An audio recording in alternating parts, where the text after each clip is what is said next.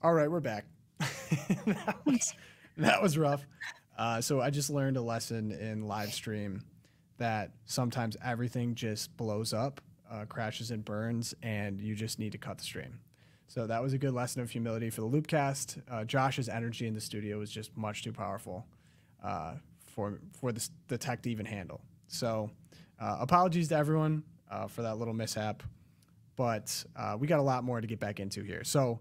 But I did say the prayer to St. Michael, and as soon as that prayer was done, everything's working. So there you go. So we're back, St. Michael. Thank you for the little assist there. Um, so to recap, kind of what we talked about before. So Logan is in Arizona, working with the political team.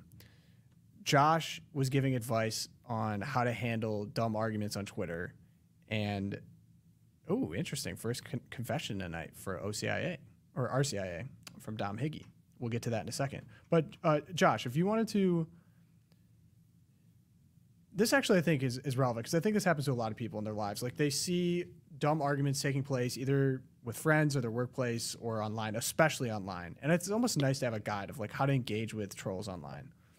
What would your advice be to someone you see something, you're not sure whether to bite or not, like how to engage an argument in a meaningful Yeah, I mean part of it, you know, I work for Catholic Vote and as my wife likes to say, I argue for a living. That's why she doesn't like getting in arguments with me.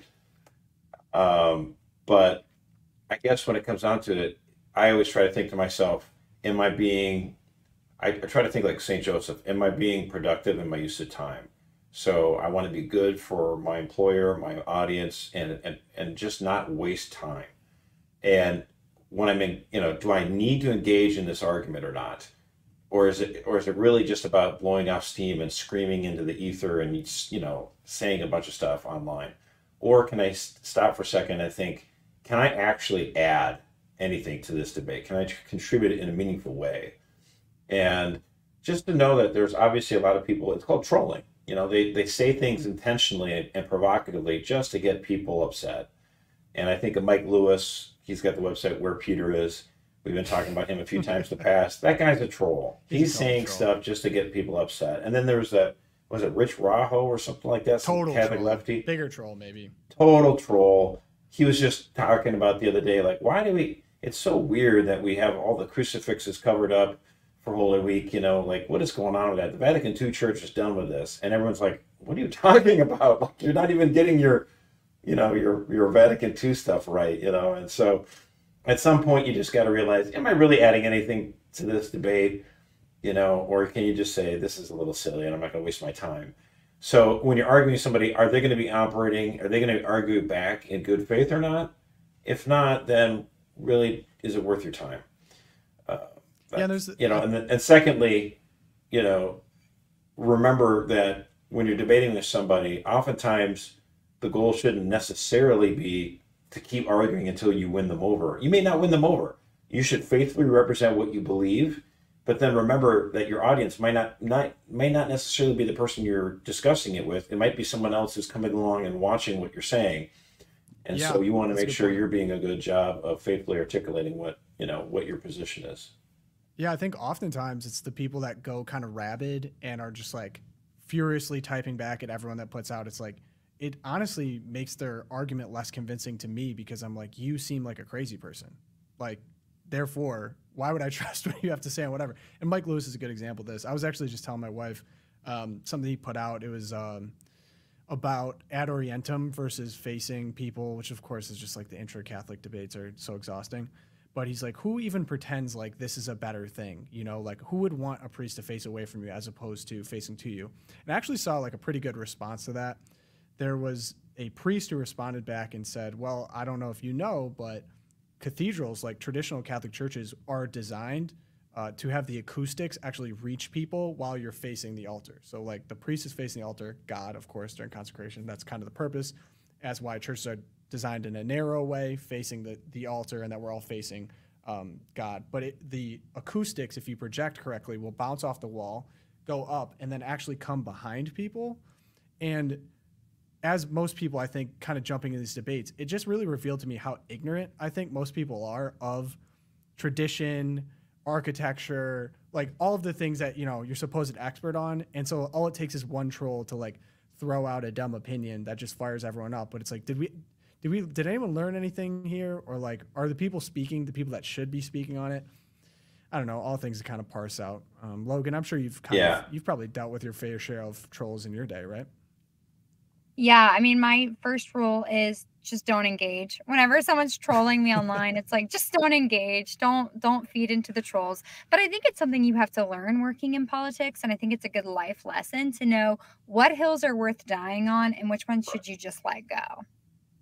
Yeah, actually, I was in a conversation on Twitter with uh, my friend uh, Matt Burke. I say friend jokingly, but he was on the Loopcast, so we big shout out to the Super Bowl Friend. champ and and somebody said God is for the weak, and I'm like, yeah, and I'm glad he's for the weak. I mean, that's good. I'm weak. I need him. Praise God, you know. So like sometimes you can get under the skin of the trolls too. It's kind of funny. He didn't have a response to that, so that's pretty fun. Yeah. Uh, and the, and I did want to talk about this. So Dom Higgy uh, previously uh, revealed that he is uh, going through RCIA, going to be received in the church on Easter. Congratulations, going to be awesome. Uh, but this is good Holy Week talk. So first confession tonight for RCIA. Asked if he has any advice. Do you have anything that you would give to someone in this situation? the biggest advice I would have was just to realize every priest has heard just about every sin you could think of. It would be really unique for you to say something. I mean, just imagine this. Like, you're going to actually say something that's never been done before. I mean, like the first family that we ever had, Adam and Eve, they had sons and one murdered the other son. So, I mean, like, as far as there's nothing new under the sun. I can't imagine you would say some sin and the priest would go, "Oh my goodness, I've never heard that before. I got to write this down." First, they they don't. They don't honestly care about what the sin is. They just want you to be healed. They they they don't memorize. Remember, we're talking about men here. We don't remember anything, so don't worry about that. He's just there to try to bring God's grace and healing to you, and so just to be comforted in that. And the thing is, everyone says this when you get out of confession, you just feel so much better. And the devil is trying to, you know, all the demons are just trying to convince you to be very anxious and to be very nervous and to be, you know, have your brain going a mile a minute. Like, oh, what's the priest going to say? What about this? Oh, should I say that? Should I give details? Whatever. You know, it's going to be fine. It is going to be fine. You know, the devil, the last thing the devil wants is for you to walk in there and just to say what is on your mind and to, and to recount your sins he wants you to feel guilty and horrible so that you don't go into confession. And uh, he hates the confessional more than anything else. Just remember that. So just go there. Don't have any sweat. Don't have any worry. You're, you know, uh, we've all had some major sins. I've got a, a lot of a lot of Uh, them. So well, just Lo- don't worry Logan- about it. Logan's never had to go to confession, so I mean, with a face like this, come on. innocence, pure Um, innocence. No, I mean, I think it's good to remember something I always tell myself is priests are just another broken vessel for a beautiful mercy. Um, and so when you go, just know you're talking to somebody else who struggles with the same things we struggle with. They're human beings. Um, and so we're kind of all in this in this struggle together. yeah. I think the Absolutely. the thing that I would maybe add is, because maybe I'm just beyond the. Fe- I've gone to confession so many times. I'm beyond kind of the fear element. I think Mercer's advice is good for sure, but I just think like it's so important to have a true sincerity, uh, a true repentance, and like working even in the line to confession or before you go to confession, like just getting yourself in the state of just like sincerely willing uh, forgiveness for your sins and understanding that you need God's mercy and just to go in there with a very contrite, sincere heart because that always makes me leave feeling the best. After feeling like I put it all on the table, I went through all of the correct steps, and then uh, you know you hear the words of absolution, and then you feel amazing. Like I, I, someone always jokes like, "Oh, I hope that I get struck by lightning when I touch the doorknob to leave the confessional." You know, you go straight to heaven. It's kind of that feeling. And um, It's yeah, also just- a, good good points there, Tom. The only thing I would add to it would be if if in life in general, the way you look at other people who maybe cut you off in traffic or you know say something mean to you or rude or, or if you just had an attitude of there but for the grace of god go i. And, and truly be humble. That's your that that's the one thing. If you think of there's the one uh, i think it was saint moses uh, of the one of the desert fathers uh, of egypt and he said you know, you try to fast, but the devil doesn't eat. You know, you try to be, you know, stronger, and you know, I mean, demons have Im- immense power. But Yeah. the fact is, the one thing you do that the devils and the demons can't do is humility, and that makes the devil just he absolutely detests that humility, and that is the one power that you have just to be truly devoid of yourself as much as you can, and that's that's a ticket to heaven right there. Saint Moses the Black, I believe. That's it, that's it, yeah. An interesting, interesting point from Colleen. She says Saint Faustina is said to pray for the priest before your confession, which interesting. I didn't think about that. But one thing I always think of because I've been in places where, and Josh and I have opined about this before, where confession is just limited to like half hour on a Saturday, and in a time that doesn't work for anyone.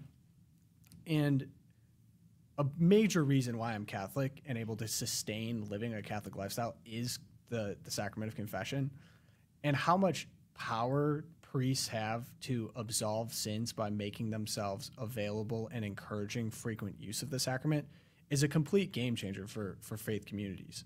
And to that point that Colleen made, it must be really taxing on priests that make themselves available constantly to hear people's sins, to hear about the worst of humanity all the time. It reminds me kind of like a, if you had to work like a bouncer job at a bar or something, and you just Well- always had to kick out drunks.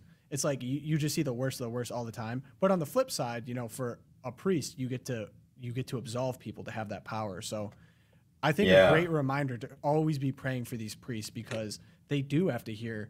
They have to. It, it's exhausting. You have to hear about all these sins, but it, it's such a beautiful and important part of like a Catholic lifestyle. So I will always, always, always um, commend priests that are making themselves constantly available. Churches that make that a priority. I think it really is And to preach about it. Totally to preach about it. It it's not talked about enough. I think you kind of get the uh, prosperity gospel a little bit too much, especially when it comes to like Protestant I don't know if churches, but that's- even at Catholic churches. Um, confession's huge. Church of Nice is a bigger problem in our our, our church than the prosperity, prosperity gospel, gospel. I know yeah, church. I think I meant Church of Nice. Good call on that one. Um, so yeah, we briefly touched on Planet Fitness uh, before everything crashed and burned. Uh, Logan canceled her membership. I think for people that are not And hanging apparently, out on- Planet Fitness canceled our live stream. yeah, right. Planet Fitness was mad. Um, so Logan, just for people that weren't hanging out on the live, uh, just so we get it out to everyone, what's going on uh, with Planet Fitness? Why'd you cancel your membership? Oh, so it just kicked me off and brought me back on. So we are not completely in the clear with the tech issues. But with Planet Fitness, so okay, I I loved my membership at Planet Fitness because I travel a ton for work, and so I was able to use it wherever I went, which was super convenient. But I canceled my membership last week because Planet Fitness has decided to join all the other woke organizations and corporations. And you know what they say? Like I said earlier, the the cliche once you go woke then you go broke. I mean it's true for planet fitness. They decided that they were going to allow men to go into women's locker rooms and then punish anyone who stood up against it which i think we've heard this song and dance before. Um, but unfortunately for planet fitness fortunately for us they've seen a massive massive profit fall in a five day span, I think that we said it was over $400 million, nearly $500 million profit fall in five days. Um, absolutely insane. And the f- craziest part is you look at this guy on the screen, it's a man. Like, this isn't even like, he's not even disguising the fact that he's a man. And I think one thing that we've all been afraid of ever since Target started this whole bathroom thing, I don't know, Josh, what year was that? 2015, 2014? We've all had the fear that we're putting our daughters and, and women on the line, we're putting them at risk and we're seeing that continue to perpetuate i mean it's terrifying so yeah i canceled my membership happily i marched on in there like a good little conservative and and canceled it so This- that this means picture- i'm taking some rest days I hate to say, and for, for people that haven't seen it, you can Google it or come over to the YouTube, uh, hop on the Loopcast YouTube, subscribe. We just hit 5,000 subscribers. Yeah. Thank you guys. It's so exciting. Um, but the guy's not trying. I mean, it's crazy. And, and I talked about this earlier too. This woman took a picture of him. So this picture that we see here, because a 12 year old was uncomfortable in the women's bathroom. So he is doing this in front of a 12 year old in a women's bathroom at, at Planet Fitness. Her membership was canceled because she took this picture. So in the Plan- Planned Parenthood terms of services, uh, I believe their statement is that people can use the restroom that aligns with their sincerely held gender identity, which of course, rife, rife for abuse. That that's the most ridiculous legal talk ever.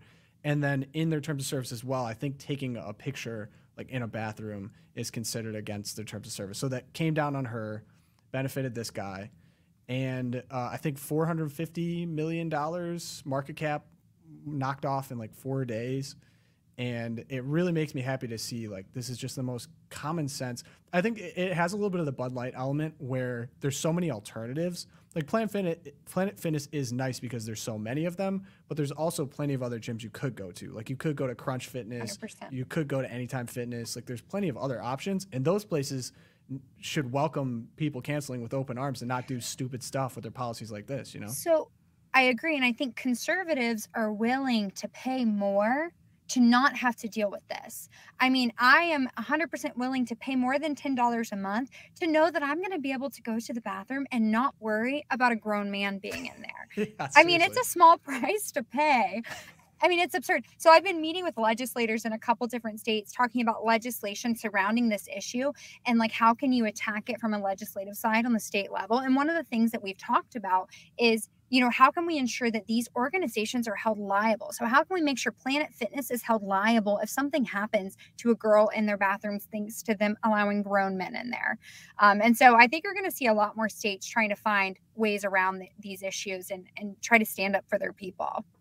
yeah for sure and i've just We been- shouldn't have to wait till there's a court case or or, or an assault. You know, it'd be nice to Right. get laws passed where it say no, it's based on your biological sex at birth. Let's go. So I've just been told there's a Planet Fitness commercial that we need to watch by a producer here. Said it's pretty crazy. So uh, Oh, if, boy. You guys,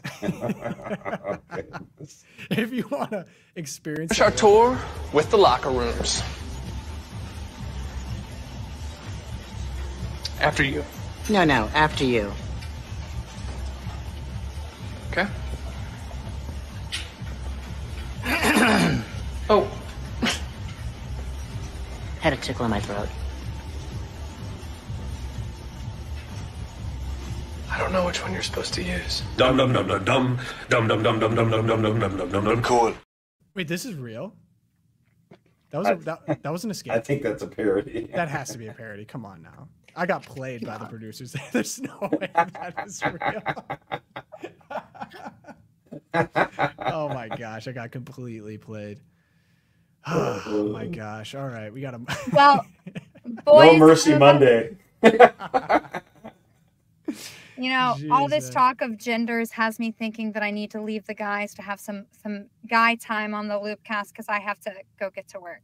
Go. So- Logan Logan is way too important to the organization to be hanging out in the Loopcast with us. Uh, As much as I'd rather be here, I've seen you know people walk by that I need to go meet with. So I'm right. in a glass box right now, and everyone can see me, and so it's kind of awkward. So I do have to go talk to them. all right, Logan, thank you for hopping on for the Planet Fitness segment. Josh and I will soldier on.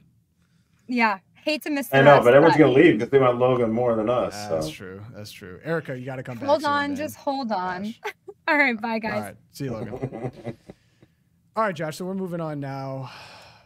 Uh, where where should we dive off into? We have a couple. I want to jump into this Carville stuff. I think it's amazing. Okay, go for it. Well, um, you know, a lot. Uh, this is probably too. I don't know if you remember James Carville. Probably too uh, too old school for you. Uh, but James Carville is a veteran Democratic consultant. He was instrumental to Bill Clinton's election victory in 1992. He was the one that famously said, "It's the economy, stupid," when talking about the race in 1982. And now he's on a kind of a warpath of his own right now. He was blaming President Joe Biden's low approval ratings on the party having too many preachy females. And he said he said he was looking at, you know, Joe Biden's approval ratings at 37%. He said the abysmal polling numbers looking at the at these horrible uh, poll numbers is like walking in on your grandma naked. the Ragin' Cajun James Carville has a way of saying things. Let me tell you what. Uh, uh, But he said that the- surprise, surprise. Yeah, he said uh, the party's feminine voice is way too woke, and the, he said, "quote The woke stuff is killing us." He goes, "A "A suspicion of mine is that there are too many preachy females." He said, and and their message is don't drink beer, don't watch football, don't eat hamburgers. This is not good for you. The message is too feminine. Everything you're doing is destroying the planet. You got to eat your peas. And Carville's saying that this message is disastrous. Not only, I mean, white men have sort of left the Democratic Party, you know, a long time ago. There's still obviously some white men that vote for Democrats, obviously, but the problem is it's now that uh, black men are leaving the Democratic Party. Either they're going to stay home or they're going to vote for Trump. And so Carville's desperately worried about this that members of his party uh, are going to, his party's going to lose the election because uh, the, the Democratic Party is way too progressive left, feminist, anti man, anti enjoying anything football, beer, whatever. So can I? And I think there's a lot of wisdom there. But can I ask you this question then? It seems like how do I want to phrase this? What won Joe Biden the election in 2020 was white female suburban voters, correct? That's true. So if that's the case and it won him in 2020, is it a strategic play to be, you know, going all in on abortion, going all in on climate change, going all in on what's clearly white suburban women care about uh, the most? Is it an intentional play or has it just been kind of something that the left has just succumbed to the extremes? So, like the AOCs or, or the Ilhan Omars, like the people on the far, far left are just so sensational that they just kind of get sucked a little bit towards that side. What do you think? So if you look at the last few election cycles, you know, 2016, 2020, and then now this 2024 presidential campaign. So we're seeing a realignment going on in politics. And so Donald Trump was able to get a lot of working class, blue collar, white voters to vote for him in 2016. And he still held on to a, enough of the suburban, white suburban voters to get elected president. But in 2020, you're right, he lost a lot of the white suburban, especially women voters, uh, enough of them, and that Biden was able to get elected. Now, people say, "Oh, the election was stolen shenanigans. There were shenanigans in 2016, too, by the way and there are going to be shenanigans in 2024. I do think voting by mail was a bad idea, and it, it probably cost us more uh, in 2020. Sure. So it may have been the difference. But in 2016, Donald Trump won over a lot of white, uh, blue collar Democrats. He kept them in 2020, but he lost these white suburban women a lot. And in 2024, he's still not doing a great job with these suburban women, but he's now picking up more uh, Hispanic and black men to his coalition so right now, he's leading in the polls by about three or four points nationwide, in addition to leading by five points in several states like Michigan, Arizona, Pennsylvania. If the election were held today, Donald Trump would win, even still not doing so great amongst these white suburban women. And the point that James Carville is trying to make is if you double down too hard on this white suburban message, you're causing these black men and Hispanic men to say, forget this. Uh, this party doesn't stand for me. I'm going to become a Republican or stay home. Either way, it's going to be disastrous for Biden. I have to say, it feels like the white men demographic are even kind of lost by that too, by the preachy, pitchy, screaming, everything. You well, know what I mean? Like it's just it's such of a course they are. That but white like men white men is a demographic that have voted Republican for how many decades or generations now. So it, I, it, there's no difference really. Can I ask you then, uh, when did they lose the women? You know, if you think well, white men were voted this way for so long, why did all of a sudden their wives start voting the other way? Well, it, there's always been a bit of a gender gap, but when we talk about the gender gap, it's important to realize that married women vote Republican. Mm. It's unmarried women that vote Democratic. And of course, and we've talked about this before that people are getting married at later dates. And so the number of people proportionally who are unmarried is higher now. And so the number of unmarried women that are part of the electorate is a higher number, and they're overwhelmingly voting Democrat. So, you know, it's true that if we could encourage more family formation, then, you know, single women would become married women and they tend to vote, you know, I would say more conservatively naturally. Yeah. So um, I'm not unbiased in that realm either. But um, you know, the gender gap, as people have said, is really a marriage gap. And uh, single women vote overwhelmingly Democratic, but married women still favor the Republican Party. Yeah, and I've seen I've seen it even flip where young unmarried women start off uh, as Democrats, and then basically as soon as they get married, within the next couple years, their ideology starts to shift a little bit. I mean, I'd imagine most of that because they have kids and now future responsibility, uh, maybe a closer in touch with like a masculine perspective. Um, I don't know. It, it Possibly. I mean, it's Kellyanne Conway used to talk about the M's. You know, they, they have a mortgage, they have munchkins. You know, there's reasons why they tend to start drifting a little bit to the right on voting stuff. So we'll see. I have not heard the M's, although we did go kind of hard on Kellyanne Conway for her pro-life statements, which is fair. Um, Yeah. So, I, this is my Twilight Zone. I want to play it early because I think there's a lot of meat here. So, if we could pull this up, so there's a, a show on Netflix. I guess it's based on a book. I actually just talked to someone who was pretty familiar with it. I think I'd read it. It's called The Three Body Problem. It's a sci-fi novel, and there's a scene that was just going crazy. I every time I see it, it always shocks me because you hear communism and you kind of think of your harmless, nutty professor at some liberal institution. Uh, they don't have much pull. Obviously, we see a lot of uh, elements of this, unfortunately, kind of creeping in society. That's constant topic. But there's a, as a part of this series, there is a real live uh, struggle session. And uh, if we could just play, if we could play it with no volume, if that'd be possible, because I think the visuals just absolutely like knocked me off my seat. I just had to look in to see what all this was about. Basically, in the book, it is a wife and husband. Uh, the wife tells on the husband because the husband is a physics professor, and he was teaching uh, basic physics concepts, and that was enough to get him in trouble with the state because the state uh, it wasn't a state approved science to be taught. And so what they did was they brought him in front of a crowd of people chanting, and uh, the wife was up there pointing at him. He had to wear like a dunce cap basically, and they beat him to death. Uh, if I, I'm not seeing it I think Jessica, I see.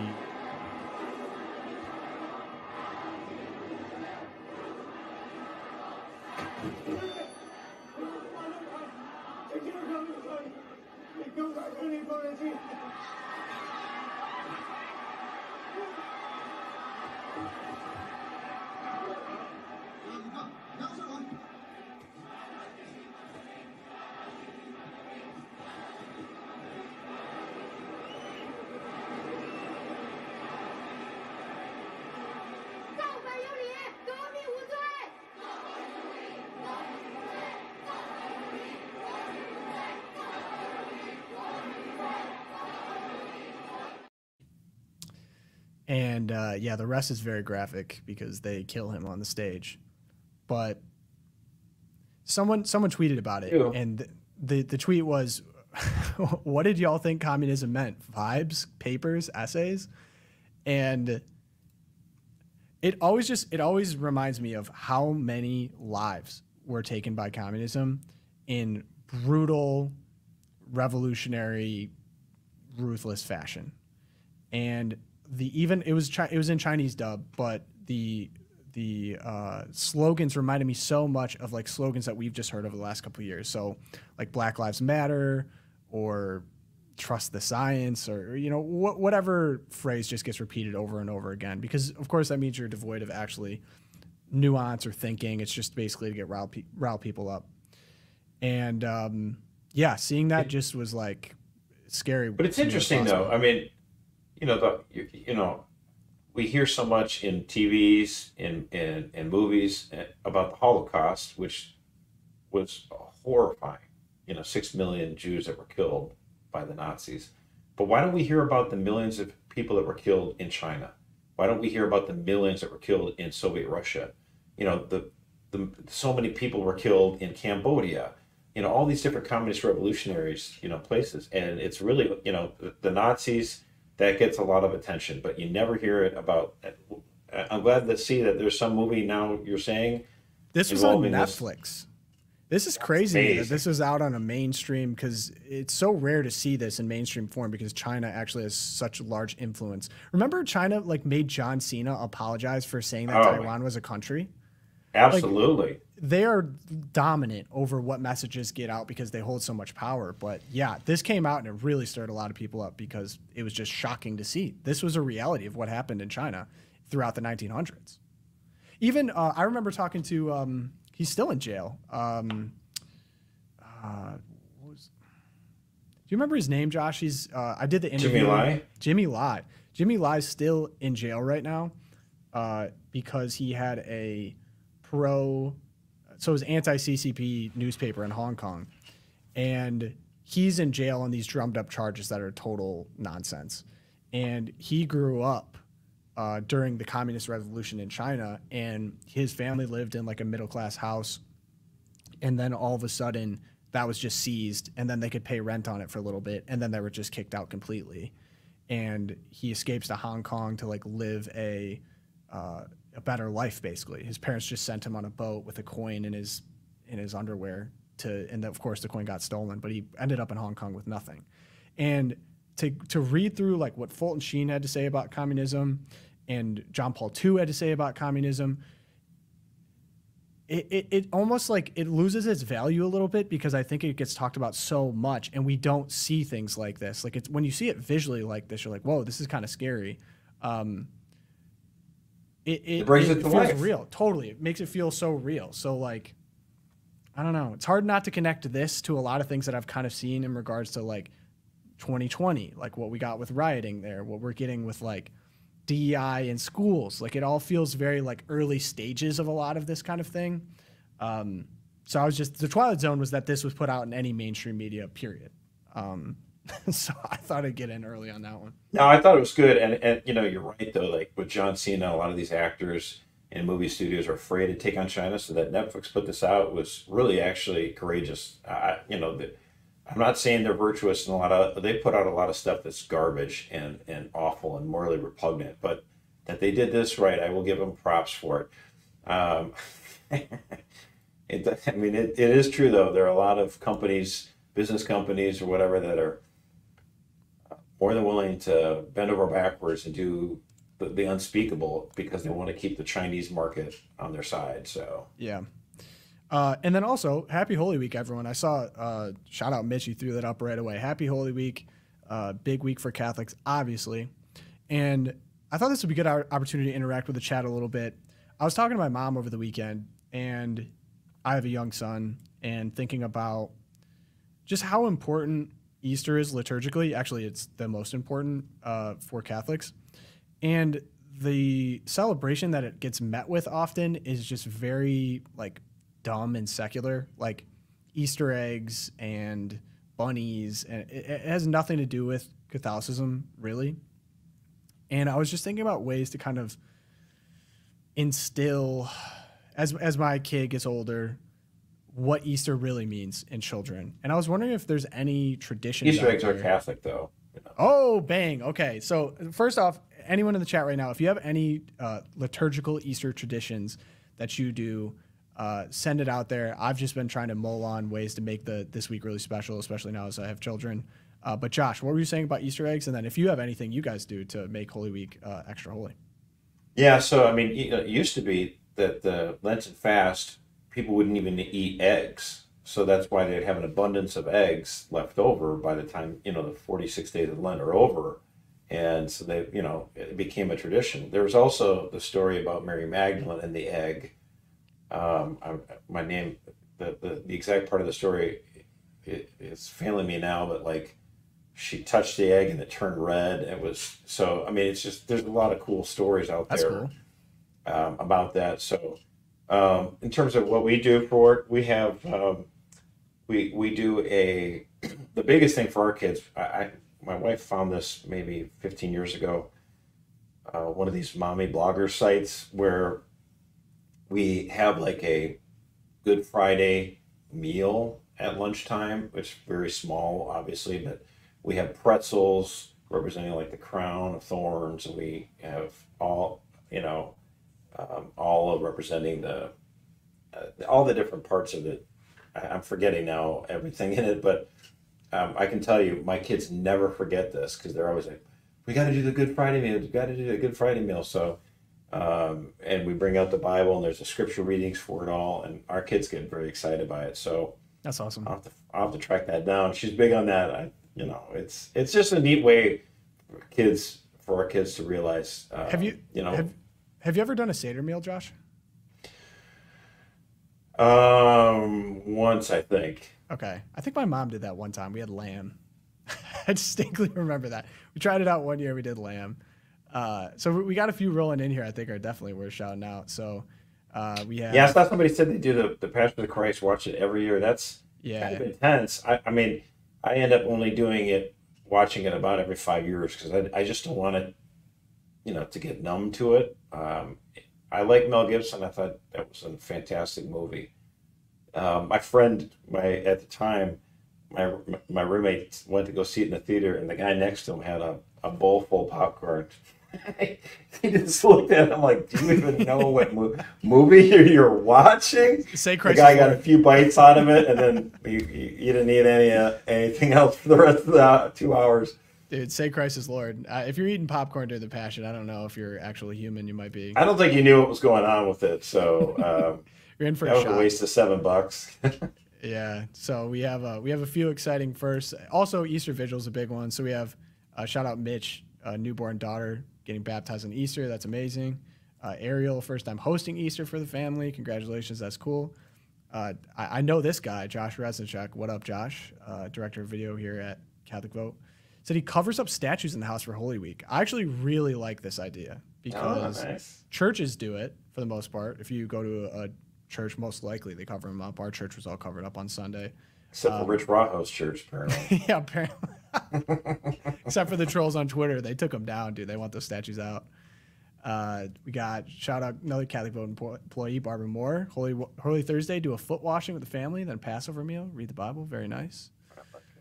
Uh, a lot Look of- at it. Mitchell, our favorite commenter. He's we do empty tomb desserts. The kids wrap a crescent roll around a marshmallow and bake it. The marshmallow melts, representing Christ is risen. wow. I absolutely think it's super neat, but I hate marshmallow in just about every form. So uh, I'm sure I'm sure my kids will love it though. You're not a you're not a peeps guy, Josh. I don't. Oh, pizza's the worst. Although I, I buy some just to put it in the microwave and watch them get to be the size of like the Tyrannosaurus Rex. You know, they get really huge. But I, marshmallow, Yeah. I, actually, the only time I like marshmallow is Rice Krispie treats if they would have the peanut butter. Then I like that. But then, Interesting. other than that, I don't like marshmallow. Usually. I think I think peeps are a psyop that everyone just pretended to like, kind of, but no one actually does. Is there people actually like peeps out there? I don't. I don't think it's possible. I mean, why would you eat that when you can have a Reese's Pieces egg? Exactly. Same. Yeah. The, the Reese's is the play for sure in the egg form. Tastes actually Best good. dessert ever. Uh, were you on the Prince of Egypt train? I definitely was. We've watched this Oh, many yeah. times. We Prince love of Egypt too, for sick, sure. dude. Soundtrack, unbelievable. So cool. Uh, okay, we got home parish, Hispanic parish. Four men carry a statue of Christ's deceased body following the Good Friday liturgy and lay him in a makeshift tomb followed by Wow. adoration. That is crazy. I've never That heard is that. That is major awesome, Matthew. That's cool. Dude, shout out Matthew. That is crazy. Um, Starburst jelly beans, the only Easter candy I like. That's Ariel. You know who loved uh, jelly beans a ton? Which president loved jelly beans the most? uh, Reagan. I don't. That's it. Oh, let's go. Okay. One Jelly, yeah, he, he got the jelly belly beans. He got them in. He said peeps stopped tasting good when I turned seven. You're a legend. I used to Um, like when I was a kid the Cadbury eggs, but now they're way too Oh, I can't do. Oh, those are Yeah, someone. That's another psyop. That's another psyop. No one likes. Actually, no. I'm gonna get pushback on that. I know people that do. Uh, but another thing too, uh, the Easter Vigil Mass. So when I was in college, this is kind of cool. Shout out to Ave Maria. Uh, we would do the Easter Vigil Mass, and then they would have like all the candles light up. And we had someone up in the balcony taking a picture, so you just see like all the candles kind of like slowly light up. It was really cool. And then afterwards, there was a household, which is like kind of our, I guess, Catholic version of fraternities. They would put on a resurrection party right after. So we would get out of the vigil mass, roll over to the cafeteria, and they had like Chick Fil A, a DJ. They had lights going. It was it was pretty awesome. I'll never Chick Fil A because it was still Saturday. uh, yeah, I don't know. I don't. I don't, I don't want to get anyone in trouble here, but uh, Chick Fil A. Well, it was past midnight, so it was Sunday. Oh well then, yeah, It was a midnight Sunday. They're not they're not open on Sundays. Chick Fil A. Oh yeah, we got them catered like Saturday night. We must have got them in. Before. I don't know how Ah. they pulled it off. Big brain. Shout out to, shout out to. But it- was that Fishers of Oh, Marin, caramel Cadbury eggs. Why don't I know about this, Brad? you know, though, when a kids eat the um, the jelly beans, they, they pretty much all give the, the black jelly beans to me because they hate black licorice, except for my son Charlie. He likes it, but I love the black, Black- licorice, dude. Yeah, I don't like jelly beans. I think I was kind of ruined because did you ever have It matched my soul, so it works out good. Did you ever have those bean boozles? You know what I'm talking about? Where they'll have some taste really good and then some will taste like a fart. You know what I'm talking about? No, I have no idea. But what, what is this? Good morning from Bismarck. I'm wearing my UMary shirt for for. Uh, look at that! Hey, would you like that? I'm gonna be heading to Bismarck uh, next month. Go check out the UMary campus with my daughter. She's probably gonna enroll there. So shout out UMary. Good school. Good school. I got two other of my friends. Their kids are probably gonna be going to UMary too. So I Okay, thought I'd UMary. represent with the shirt. UMary kind of the move. Uh, dude, we love the Eastern Mitchell. The one mass that is so long you can eat a Snickers bar at the Gloria and still be good for Eucharistic fast. Oh, Matthew. The chat. No, no. the chat is on fire today. Terrible. Uh, It does remind okay, me though. so- I mean, there are people who are. If we're going to talk about stuff, I mean, Pentecost. I know it's a few weeks later, but I remember I went to uh, a charismatic church for Pentecost Sunday because apparently I hate myself. And these people have good faith. They're good people, but I mean, I think it was like three hours long, and I, you know, come on, it's. I'm a bad Catholic. I couldn't handle It it. was a revival.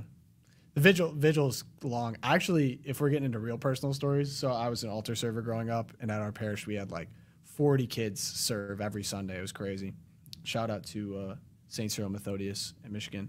But one because they're so long and there'd be incense, and it got really hot in the church because we were all in the in the get ups and uh, ventilation was bad. So uh, people had that would hold the candles. We would all be holding the candles. And I remember just like looking over at this other kid, kind of altar serving. Me and my friend were there, and the kid kind of gives us a heads up, like, "Hey, I'm not, I'm not feeling too good."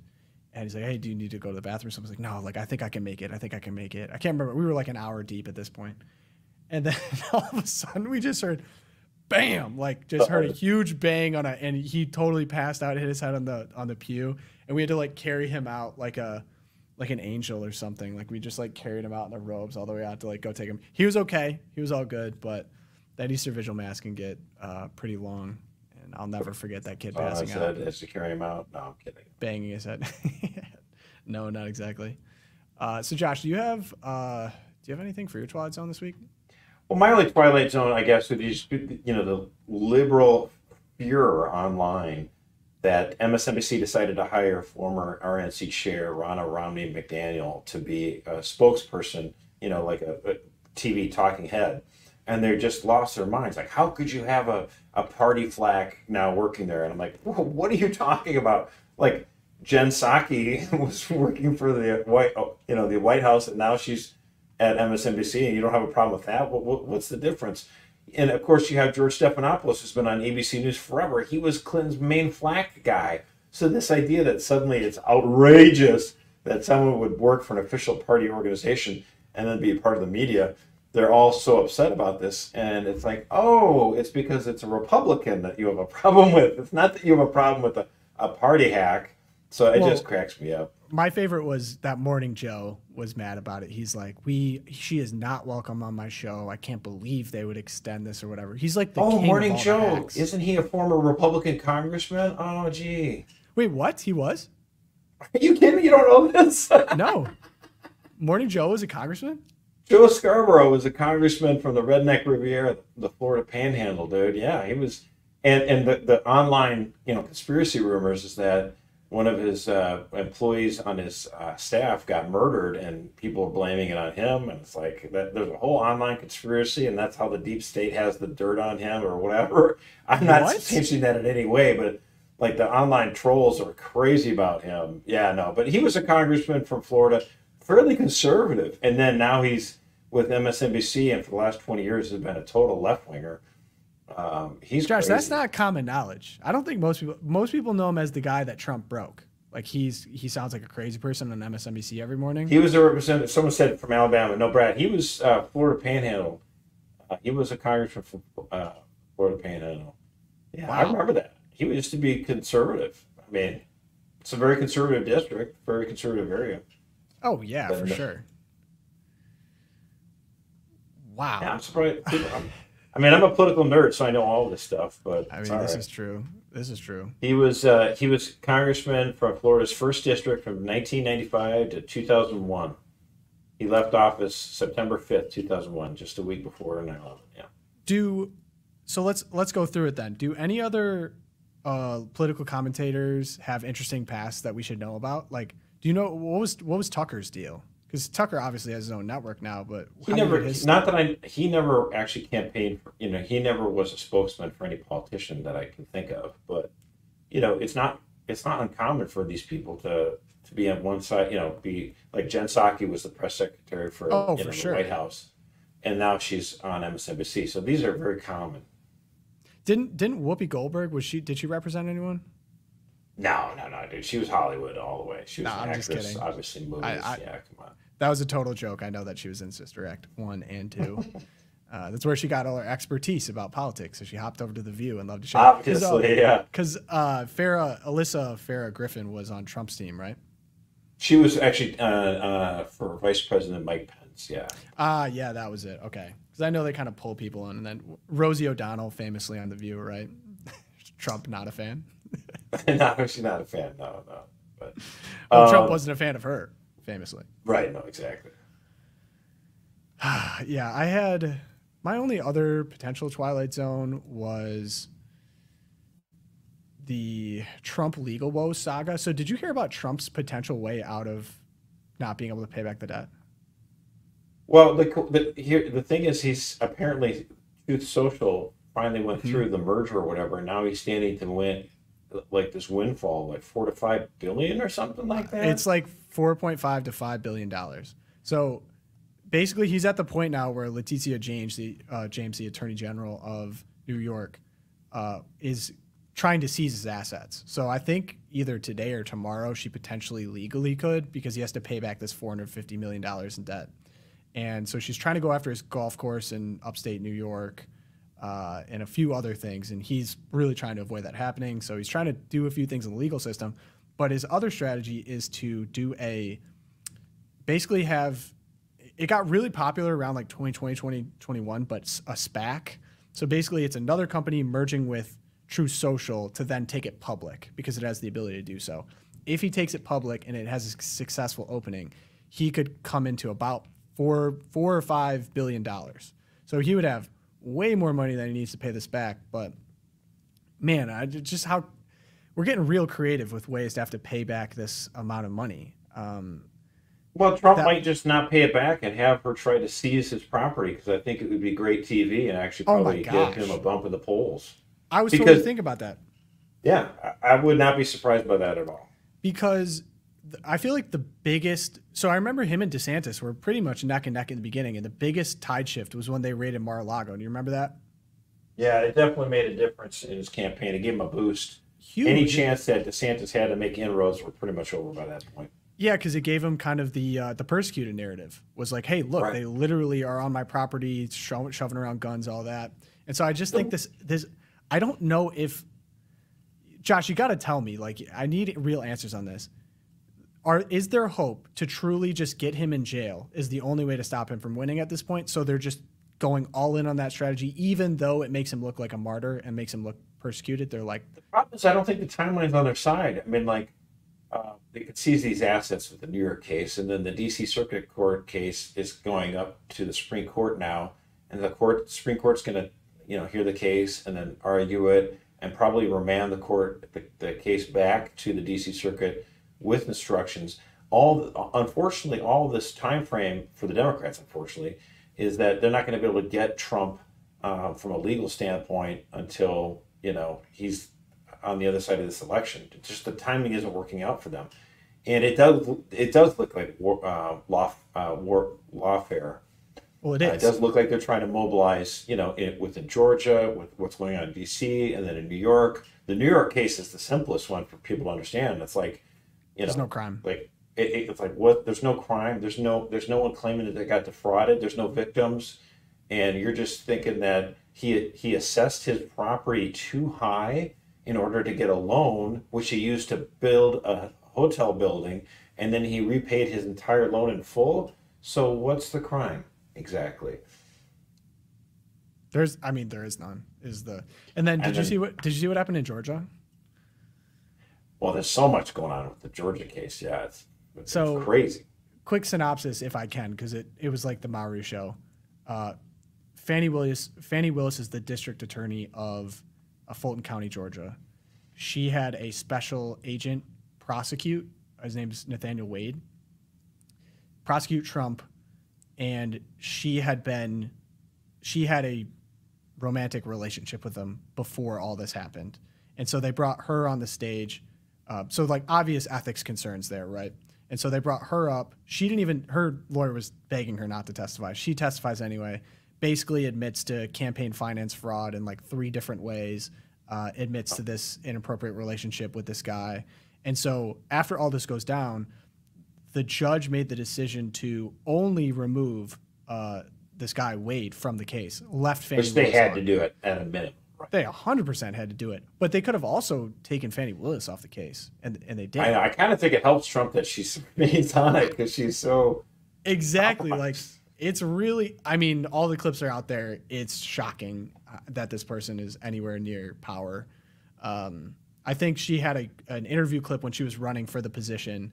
She said, uh, "Fulton County deserves someone that is not going to sleep with subordinates or steal money from the taxpayers." And she literally just admitted to doing both during the testimony. You're like, "Oh my gosh! Like these are the people going after Trump."